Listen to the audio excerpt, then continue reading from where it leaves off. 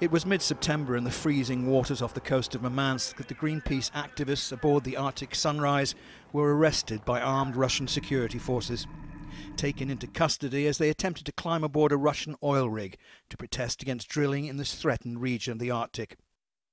The 30 taken off the ship came from 18 different countries and included three Russians, two medical personnel, and a well known photographer. The group were all initially charged with piracy later reduced to hooliganism, but that still carried a seven year sentence if found guilty.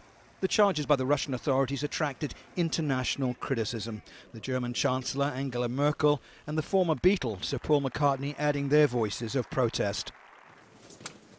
The seven foreigners given bail came from New Zealand, Brazil, Poland, Canada, and Italy. Two activists came from Argentina. One of those bailed on Tuesday, 49 year old engineer aboard the Arctic Sunrise, David Haussmann from New Zealand, was told that he and the others would be required to return when a trial date has been set. For him, it had been an unpleasant experience. Being put in a cage is publicly humiliating and also gives a presumption of guilty. The three Russians were bailed on Monday. The others will be allowed to return home after paying bail of $61,000.